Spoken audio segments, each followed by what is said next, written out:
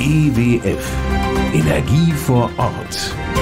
Der Podcast mit Lars Kors. Hallo und willkommen. In dieser Ausgabe beschäftigen wir uns mit dem Thema E-Mobilität. Da gibt es gleich zu Beginn eindrucksvolle Zahlen von mir. Bis Ende letzten Jahres waren nämlich in Deutschland fast 1.453.000 reine Elektroautos angemeldet, also ohne Plug-in-Hybride.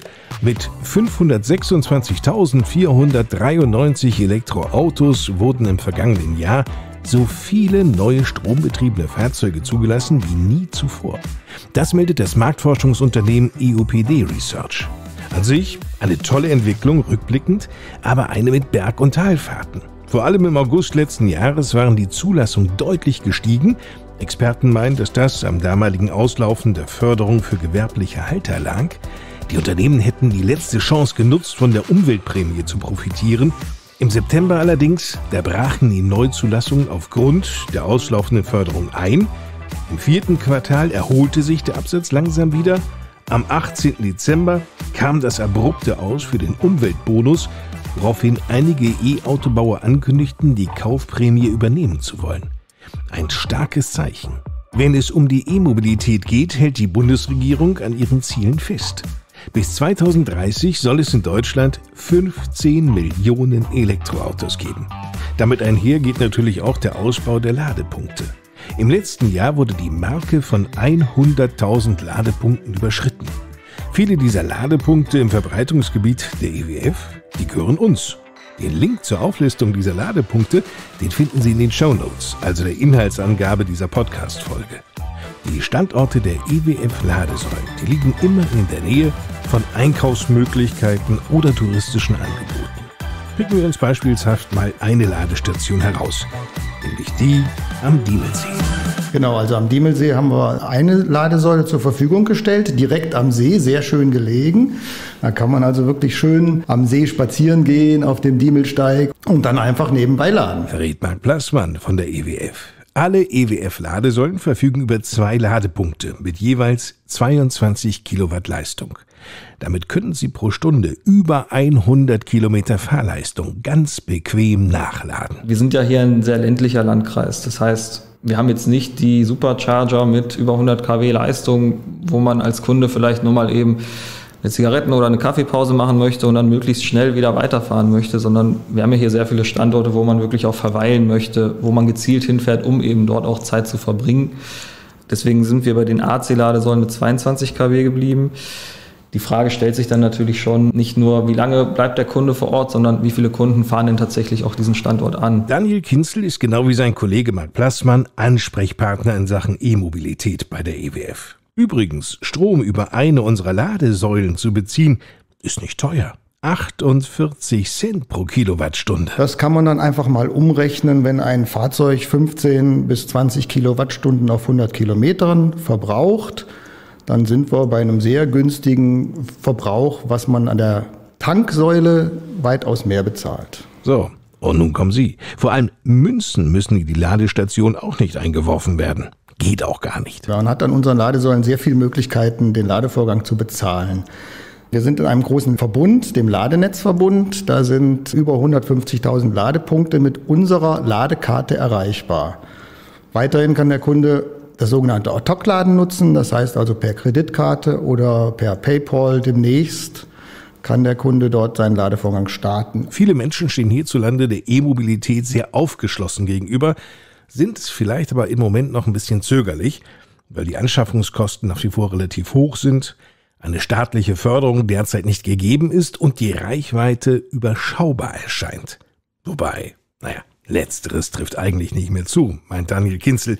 Das sah vor ein paar Jahren noch ganz anders aus. Ja, es hat sich schon deutlich verändert. Also wir selber haben noch einen E-Golf der ersten Stunde auch hier im Fuhrpark im Einsatz der für unsere Zwecke völlig ausreicht. Der hat noch eine kleine Batterie mit 24 Kilowattstunden. Das sind dann übersetzt im Sommer ungefähr 150 Kilometer Reichweite, im Winter dann etwas weniger. Reicht für uns völlig aus im Betrieb. Die neueren Fahrzeuge, die eigentlich jetzt Stand der Technik sind, werden mit Batterien von 40 Kilowattstunden aufwärts ausgeliefert. Das bedeutet, man hat da schon die doppelte Reichweite, also sprich ja, 300 Kilometer aufwärts. Was für den Privatmann in der Regel ja auch ausreicht. Und die Ladegeschwindigkeiten, selbst an unseren AC-Ladesäulen, geben es ja schon her, dass man innerhalb von einer Stunde ungefähr 150 Kilometer Reichweite auch wieder nachtanken könnte.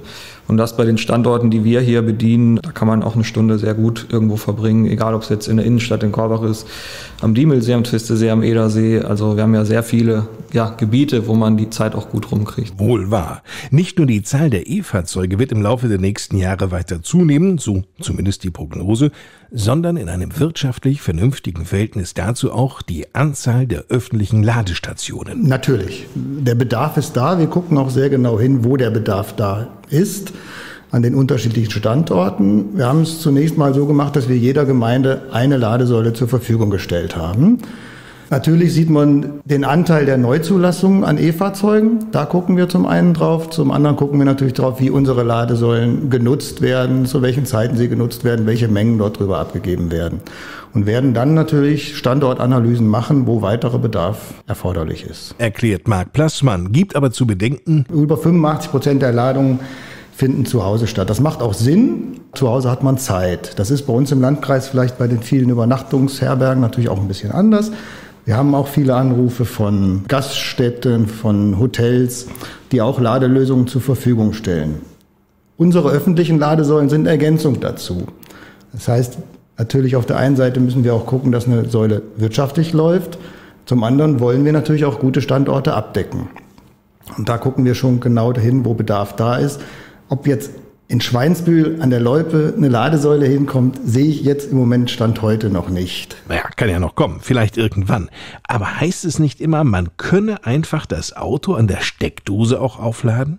Lohnt sich denn überhaupt die Anschaffung einer Wallbox, Mark Plasma? Da darf ich Ihnen mal eine Gegenfrage stellen. Würden Sie drei Elektroföhns nachts für einige Stunden in der Garage laufen lassen? Sicher nicht. Und das ist ungefähr vergleichbar mit der Ladeleistung eines Fahrzeugs. Also aus Sicherheitsgründen ist es absolut empfehlenswert, eine Wallbox zu nehmen, die die Leistung gleichmäßig aufteilt, die natürlich andere Steckkontakte hat und auch besser auch vom Handling ist. Darüber hinaus gibt es bei einer Wallbox viele Futures, die auch interessant sind, zum Beispiel das Einbringen mit in eine PV-Anlage, um den eigenen Strom zu nutzen. Also es sprechen viele, viele Faktoren dafür, eine Wallbox zu installieren. Vor allem, sie nimmt ja nicht einmal viel Platz weg und heißt Wallbox Daniel Kinzel. Weil die in der Regel im Privatbereich an die Wand gehangen wird, in der Garage, im Carport. Gibt es natürlich auch als Säulenvariante, ist dann umgangssprachlich trotzdem die Wallbox dient eigentlich der Ladung des Fahrzeugs zu Hause. Gibt es unterschiedliche Ausführungen, etwas größer als ein Schuhkarton, aber viel mehr muss das nicht sein. Ist natürlich nach oben offen, je nachdem, was man so haben möchte als Kunde. Infos zur passenden Wallbox, die liefert Ihnen Ihr Elektrofachbetrieb in der Nähe, der auch für die Installation zuständig ist. Sie merken, die EWF, die begleitet Sie gerne auf ihren elektromobilen Wegen von A wie Anmeldung an der Ladestation bis Z wie zu Hause laden bleibt noch abschließend der Blick in die Zukunft, quasi in unsere Podcast-Glaskugel. Wohin wird die E-Mobilitätsreise gehen? EWF-Experte Marc Plassmann, der hatte eine klare Einschätzung. Ich sehe noch viel Potenzial in der Entwicklung von intelligenten Netzen, von Autos als Speicher nutzen. Das wird auch manchmal vergessen. Aber es bleibt und ist eine Herausforderung für uns. Wir gucken genau hin. Wir passen uns nicht nur dem Bedarf an. Wir wollen natürlich auch vorausschauend planen. Wir bleiben am Ball. Und halten Sie hier im EWF-Podcast auf dem Laufenden. Das war's für heute. Vielen Dank fürs Einschalten. In zwei Wochen gibt's eine neue Ausgabe. Warum Kauft die EWF Strom und nutzt nicht einfach den selbsterzeugten aus der Region. Wo wird Strom eigentlich gehandelt? Woher stammt der Ökostrom, den ich über die EWF beziehen kann? Spannende Fragen, die wir dann mit Ralf Heine klären werden, einem Experten hier bei der EWF, der sich auf die Strombeschaffung konzentriert und spezialisiert hat. Bis dahin, eine gute Zeit. Ich bin Lars Kors. Wir hören uns.